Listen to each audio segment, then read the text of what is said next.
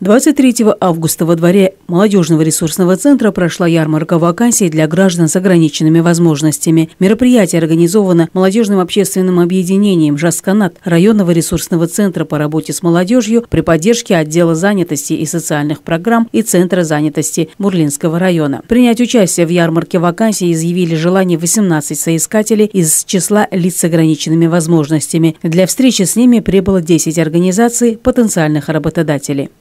Думаю, что сегодня наши люди найдут себе достойную работу, подходящую, с подходящей заработной платой. Сдали э, резюме 15 человек по специальностям рабочий, водитель, э, бухгалтер, по таким специальностям. К таким людям есть нужен специальный подход, специальный график работы. Поэтому думаем, что сегодня все-таки удача улыбнется им. Востребованными специальностями являются рабочие, уборщики территорий, водители на легковые транспортные средства.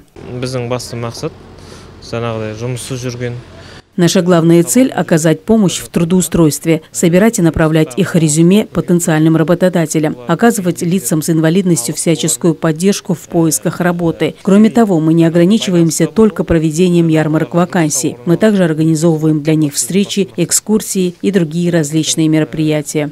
Содействие трудоустройству гражданам с инвалидностью – одна из основных задач в области занятости населения. Специалисты, деятельность которых касается работы с людьми, имеющих инвалидность, с ответственностью относятся к данной проблеме и делают все возможное, чтобы помочь гражданам с ограниченными возможностями найти работу. К тому же необходимо индивидуально работать с такими людьми и узнавать их возможности и запросы.